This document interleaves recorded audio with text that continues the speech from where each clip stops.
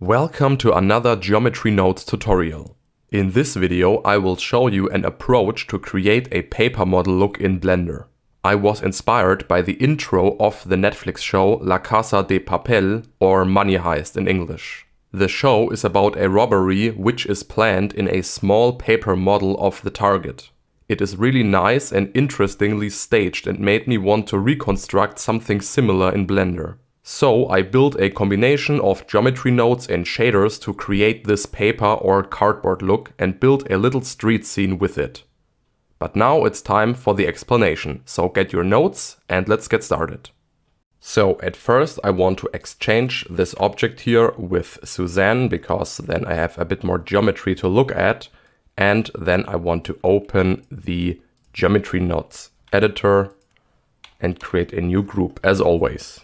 So this effect will be divided in two parts basically. One is the geometry and the other part is the shading. On the geometry level, I want to at first make the geometry here a bit crooked by shifting the geometry in random directions a little bit to get rid of the mathematical correct modeling appearance, that it looks a bit more like a crooked piece of cardboard which was glued together. And additionally, I want to cut some of these edges to show the inner paper or the inner cardboard cells that it looks more like it's made out of paper. So it will be on two levels basically. So let's start with the slightly crooked geometry. That's pretty easy. We will just add a set position node here because we want to change the positions of the vertices. And we want to add a random value node, which we will put to vector because we will have yeah multiple vectors, not only one float value. Connect that to the offset. Okay, this looks pretty bad, but we will adjust this now because I want to use this value here for the maximum value, which we can define then in this list here. But I want, of course, another data type basically, which is the float. So I want to choose a float value here. And additionally, to make this more automated, I want to make an intersection here and have a math value on multiply connect that here, multiply minus 1 and put it to the minimum value. And by this now I have, yeah, have a setup where I can just dial this one slider and it will be pretty balanced because if I don't do this, it will shift in one direction, which is this positive X, Y, Z direction. I will balance that with the minus X, Y, Z on the minimum value and then you can have your slightly crooked geometry with this one slider. Let's put this to 0.005 or something. Then it's a bit crooked, but not too much. Okay, that was already the first part of the geometry part. Now comes the second, which is the yeah, sliced open mesh, basically. The mesh is not really sliced open, but let's pretend it is. So how to achieve that? I want to extrude everything and some edges are split with the split edges node and by this they will be extruded in other directions and then it will look like as they are cut open like cardboard. To do that I want to add a split edges node here and after that an extrude mesh node like this. Leave it on faces, turn off individual and then you can see the offset looks like this. Every yeah, face is splitted and extruded then. So this would be the cut open edge look like. And now we just have to define which edges are split and which are not. And then we have our geometry finished. And I want to define which edges are cut in two ways. One is a random value basically because I want to have a different distribution here on every object and I want to be able to control it. So it's of course random, point one.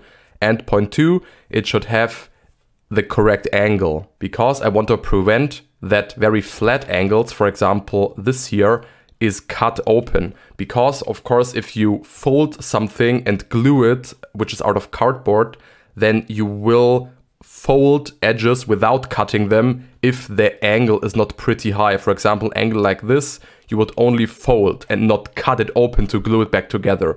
You would only cut edges which yeah have a an high angle yeah for example 90 degree angles or even more you would cut these edges here and glue them back together uh, but this flat edges you wouldn't not you wouldn't do that or not that likely that you do it.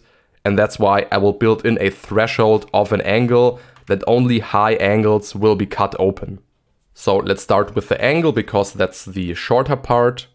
I want to have something here, but I have to connect it to something. So let's use a math node here, like this. And we want to multiply that with pi divided by 180. That's because I want to put in here a degree value, but I need a radian value afterwards. So I have to convert it. So this basically converts the degree to radiant. So, and now I can use radiant values after this, which I need now, because of course I need an edge angle to calculate the angles here of the edge. And I want to compare them. So use a compare node, float is fine, greater than. And now this angle, if the angle here of an edge is greater than the threshold angle, then this is positive and will result in a split edge. So this is fine. And here is now my value. So let's say 90 degree angles. And you can see every angle yeah, below 90 degree is not cut. So let's turn it down and then you can see more and more angles will be selected and will be cut. And yeah, then by this you can select yeah, a angle you want to choose where you think this should be cut or not. But this is only one part. I want to add a second condition here with a boolean math node on end, that's fine. So both of these conditions have to be fulfilled that an edge is cut. And now here comes the randomization part. Here I just pick the indices of the points. Then I use a random value node on integer, connect that to the ID, and now I can reassign the indices and I want them to be from 0 to 10. So I have roughly 10% per integer here of a percentage to be selected for the splitting part. And then I just need another compare node here, put this to less than or equal. Uh, sorry, here, less than or equal.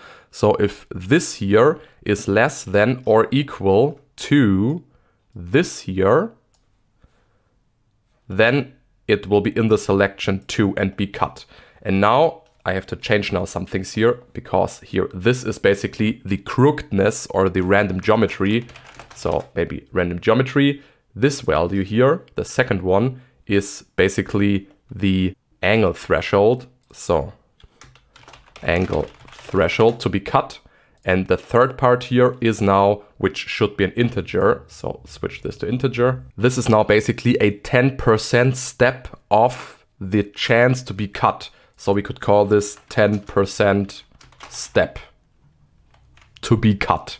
So split or something. Yeah, so and now you can change here the chance of something being cut here. So here it's on zero, so let's increase it. And if you put it on five, 50% here are selected to be cut and additional only the edges are cut which yeah, exceed this threshold here. And now you can just select a threshold of course, you could pick something low, for example, 40 degree, and then pick a percentage here, 50%. It's not really 10% steps. It's a bit different because here we have 11 values. Zero is a value as well. Um, so it's roughly 10% here to increase the amount of cuts in general here. And if you're not happy with this result, you can of course choose this as the seed for the cut. So of course you can say, oh, I want to have 30% cuts and I'm not happy with this result, so I click on seed until I'm happy, click, click, click. Oh, this distribution I like. And now some of the edges here are cut. So let's put this a bit lower, maybe to 20%. That's a bit um, um, higher chance of doing it here, um, like this. And then you can change or choose your yeah, edges of wish which you want to cut. Okay, so far for the geometry. Now we come to the shading part. But to be able to do that, we have to define the shading part, of course, first, um, because I want to have a different material on the inside here, of course, than on the outside, because we will have an outside paper and an inside paper or cardboard. And because of that, you, of course, have to choose here a set material node here and another one after that. And here, for example, the top one, which is this, is the outside material and the sides of the extrusions are the inside material. So, and because of that, oh, by the way, this is pretty strong.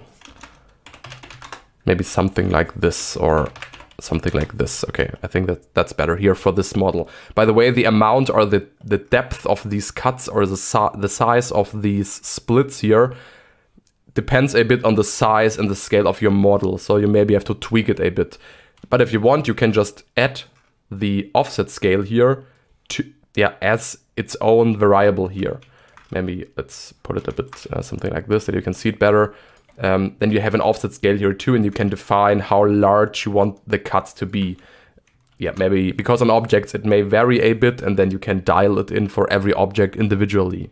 So then let's quickly create two shaders here. Open shader editor. We already got one. Let's say this is the paper inside and make a copy of that and then choose it for paper outside like this.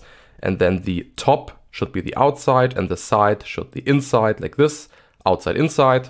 And now we can close this because we're finished with the geometry. Oops. Um, we're finished with the geometry and now we can proceed with the shading here. So this is our monkey.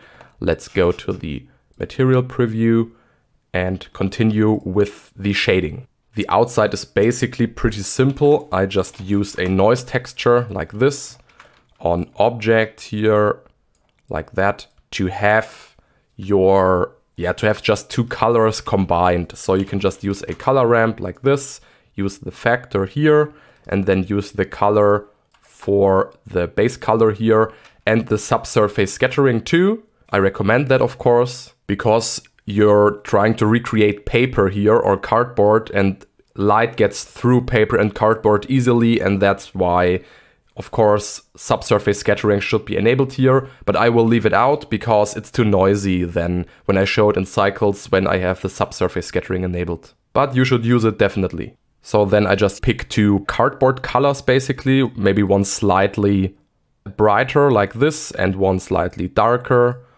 like this maybe, but of course you can pick your colors here. So I have now this, of course this is way too small here or too large in this case. So I want to reduce it to, I don't know, 0.3 or something.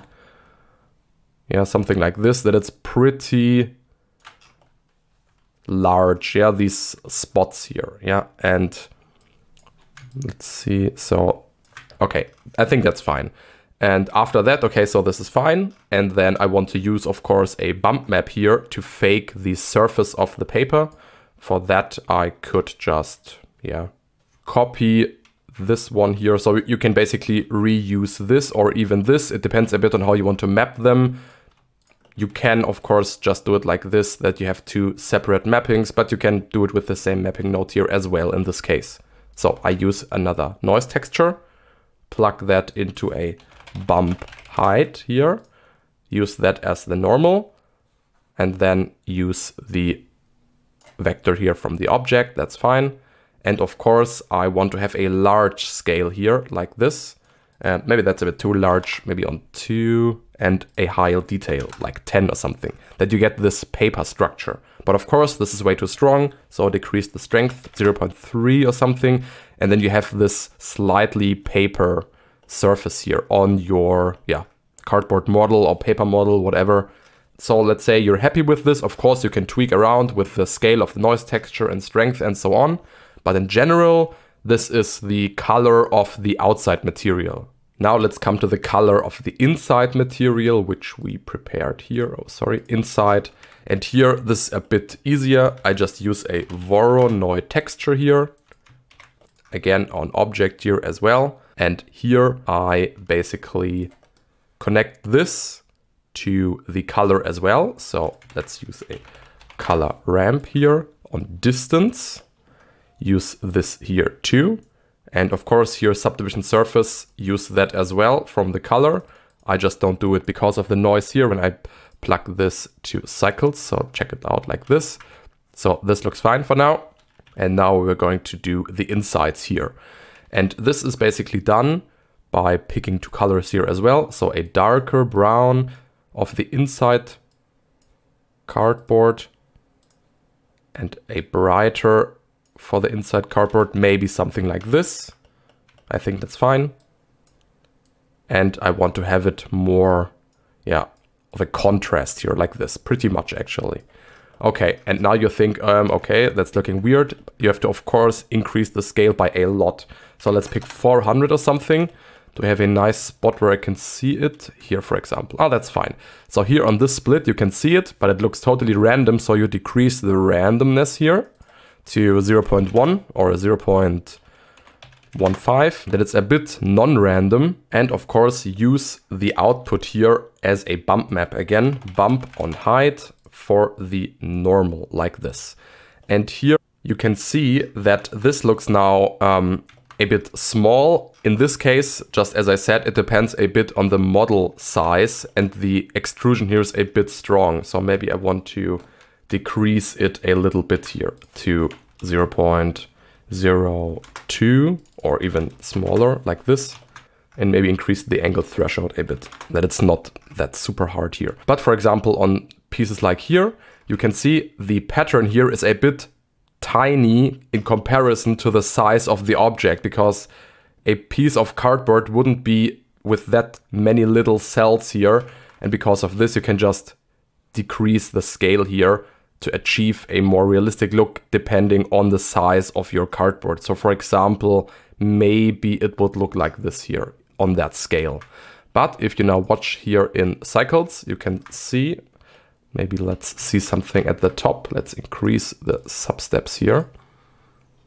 Um, oops, uh, yeah, 10 and decrease the angle threshold. Then you can see it a bit better here. Here you can see that the appeal which you have here now is this slightly brighter cardboard. And on the inside, you can see these cells in the slits here.